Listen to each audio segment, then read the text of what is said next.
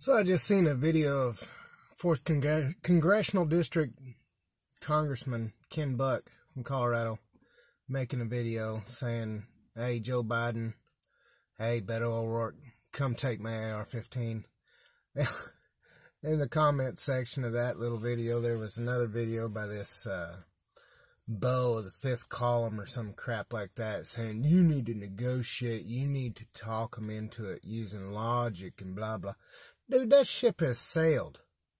Have you, I mean, wake up. Have you not figured that out yet? That ship has sailed. There's no negotiating with these radical leftists. There's no, hey, let me explain to you the reasons I have guns. Let me explain to you the reasons and the rights that I have to defend myself and my family. There's no, there's no explaining that. There's no logic that they're going to listen to and they're going to be like, oh my God, you just made total sense. Thank you. So, no. I'm sorry, it's not. That ship has done sailed. Representative Ken Buck is completely within his rights and within his within his bounds to say, you know what? Here's my line in the sand. And by saying that, you know what he's saying to the people of Colorado and everyone else that will listen to him? There's still lawmakers up there willing to make a stand and say, no, we're not going to let that happen.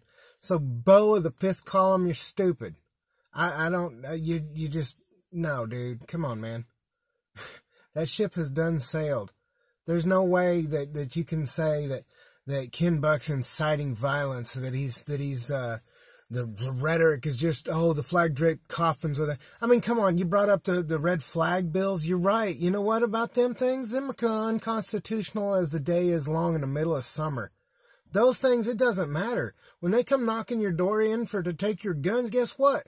You're not going to negotiate with them. You're not going to use logic with them. That's done. It's gone. If they're if they're exercising red flag laws against you, and that they are doing that one at a time, and sure they're gonna get some crazies, but they're gonna get a lot of innocent people in that process too. And let me tell you something. No, you can you can sit there and use your appeasement thing. Oh, you don't know violence. You don't know. Shut up. Shut up. And of course, the rifle didn't have sights on it. It is it is nothing more than than a wall hanger right there anybody that would uh, think otherwise is, I mean, you would think he's bringing in a, a battle worn rifle that he's carried over in Afghanistan or Iraq. I mean, come on. You know, everyone knows that he was a district attorney in Colorado for years before he ran for the seat that he now sits in. No, he's not no battle hardened, you know, warrior, but he's making a stand and he's saying enough's enough. And I respect that and I appreciate that out of my out of my representatives. And, you know, it's just to roll over and say, no, that's not the right course. Well, tell me, tell me what logic you going to use on Beto O'Rourke when he says, hell yes, I'm coming for your AR-15. What logic are you going to use to, to get him to see that's not right, that, that he doesn't have the right to do that? Tell me what logic. Tell me what logic you're going to use. That he's going to just, his eyes are all of a sudden going to be open and he's going to say, you know, as an American citizen, you're right. You do have the right to defend yourself and you have the right to pursue happiness and you have the right to a life that, that is, that is unfettered and un, unattacked by the government. The, the, you know, tell me what logic? Because you know what? When a guy is willing to stand on a stage surrounded by fellow leftist liberal nut jobs and say, hell yes, I'm coming for your AR-15 there's no discussing that with him. There's no there's no logic that's gonna pop into his head and be like, oh, that's the key that was that was I was looking for that key because now that fits in that lock and it just totally opened up his mind. I'm sorry, that doesn't happen. Them guys, no, no. And if Joe Biden wants to take him on and say, well, he's my gun gun grabbing czar, well, yeah, that get her done, buddy. I mean, Joe don't even know what day it is, so I'm not too worried about him winning elections. But the point of the matter is, that side is out there in America. That side, that side is is constantly taking little little steps here, little steps there. And if you think that you're going to argue your way into their mind to to uh, open their mind, I'm sorry. I'm sorry. You know, there's there's books out there about arguing with idiots, and there's so much truth to it because you can't. You cannot. There is there is no way that you can reach them with intelligent thought. There's no way that you can reach them with with a a line of of, of thought that that will just open up their their eyes to see what reality is because they think that the government can do more for you as a private citizen than you'll ever be able to do for yourself. And the fact of the matter is they need to get the hell out of the way. And when they're out of the way, America does great things. When they come in and they encroach and they encroach, whether it's our health care, whether it's our guns, whether it's, you know, any other facet of life that they try to just constantly, just a little bit here, a little bit there, what do they do? They, so they completely suppress ingenuity. They, they suppress all, all our desires to, to go get something done and get her, you know, get something accomplished, make something of ourselves, which is exactly what they want. They want us all dependent on them for every food piece of food that goes into our mouths, for every little breath of air that we take, for every freedom that we so graciously enjoy. Thank you, dear, dear heavenly government. No, hell no. No. Mm-mm. Sorry, Charlie. I don't know where you come from, Beau of the fifth column, but we don't ask for permission to be freemen. That is not how it works here in America. You don't sit there and say, Dear Congressman, dear Senator, dear President, may I do this or that? No, you know, in the founding of this country, which I'm telling you, still to this day, them are the only documents that I will hold an allegiance to, are those founding documents that we were created on. The Constitution, the Bill of Rights. you know, the right of all men to be free. I don't have to ask permission and yeah, you want to come for my gun? Come get it. You son of a bitch, I'll show you. I'm done. I'm, I'm fed up with that mentality that you can appease those kind of people. I will live peaceably all of my days until somebody comes and kicks down my door or somebody wants to threaten my country. You know what? That's, that's, I have a lot of family members that have served many years in the United States military. I have the utmost respect for them, and I would I would gladly die for them, just as they would have died for me. Because I tell you what, them guys, they're more than you'll ever be, Beau of the fifth column. You know, oh, appease them. I mean, my God, no, dude, it don't work that way. It does not work that way. It, it's just, I, I don't know where you think that that that you get off thinking that, that Ken Buck's inciting violence, and he's no, he's not. He's making a statement saying, This is my line in the sand. You will not come for this because this is my right. And if you do, there will be hell to pay. And there's nothing wrong with that. There's no inciting violence saying that. That's saying, you know what? You punch me in the nose, I'm going to knock your ass out. That's what that's saying. You don't punch me in the nose, we're cool. But if you do punch me in the nose, it's on like Donkey Kong. That's what that's saying. That's not saying, I'm coming to your house, Beto O'Rourke. No, that's not what that's saying. It's not saying, I'm coming to your house, Joe Biden. That's not what that's saying. That's saying, leave me alone. Let me express the rights that I have been given by God, our Creator, not by any man wearing a suit sitting in Washington, D.C., or Austin, Texas, or Denver, Colorado, or any Topeka, Kansas. No, no, those rights were not given to us by those suits.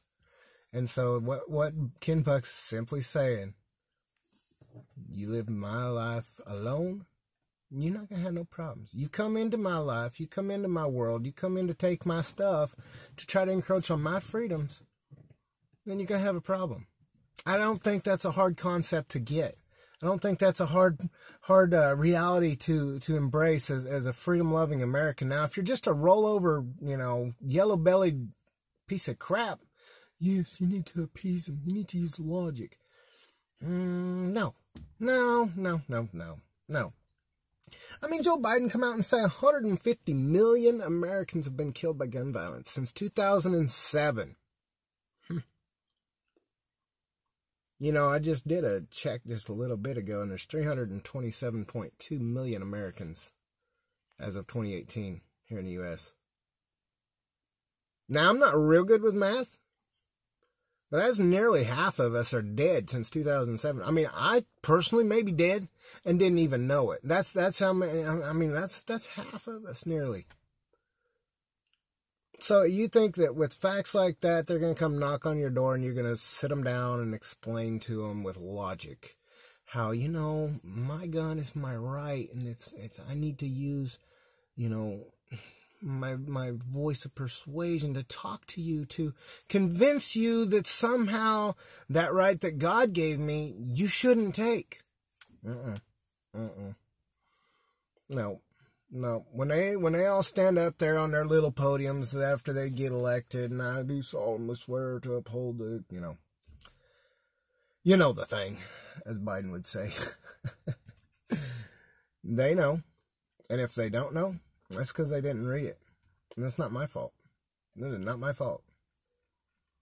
I read it many times, and I'll read it many more times. Because I tell you what, that system of government works. It's the only system of government that works. Tell me one other form of government that has lasted as long as ours has without the problems and has done more to help this world that we live in than our system of government. And as long as we would hold truth to those founding documents, those founding principles, we're good, but we leave it. We leave it. We think we we think we got to do better. Well, let's let's let's do this socialism. You know, let's let's free medical care for all. That's not a reality. Nothing is free. There's not one single solitary thing on this planet that is free.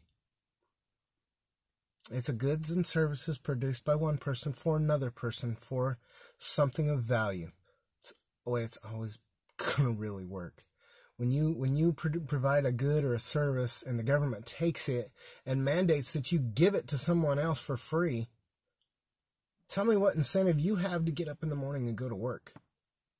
Why should i get up and go bust my butt if all i'm doing is giving all my stuff? Yeah i might get some groceries or you know that's not an equal trade. That's not there's no there's no incentive to uh to be better to do you know ingenious things to create cures for cancer, to create, you know, cures for all these other diseases. What you take away the incentive when you take away the profit. And I mean, I'm just sorry, that's the that's the reality of it. And whenever you're gonna tell tell people that, well, you know, as a doctor, you got to get up in the morning and you got to uh, go to work all day, and and yeah, we're gonna pay you peanuts because we're providing all this free health care for everybody, so we can't really afford to pay you what you're worth. Yeah, I'm gonna see a lot of doctors uh, getting out of the practice. You know, and it just it's just insane to think that that those kind of people walking around with that kind of process in their mind that's just constantly oblivious to reality that you could ever sit down and talk to them and, and, and explain to them in any way that they would ever get it that they ain't coming from my guns. And I'm not worried about it because I'm telling you what, number one, Trump 2020. Okay, that's going to happen. There is nothing that Biden can pull out of his hat that's going to make enough Americans vote for him that it's not going to be the Trump train 2020, okay? And while I do not agree with everything Trump does, I mean, I'm not him. He's not me. If he was me, he'd be a lot cooler. But he's not. I mean, he's all right. He's all right. But I tell you, you know, there's, there's, so I'm not worried about anybody coming for my guns right now, currently but just just the the appeasement. Mm, just I uh, from the fifth column, get a clue, dude. Really, I mean, that's stupid.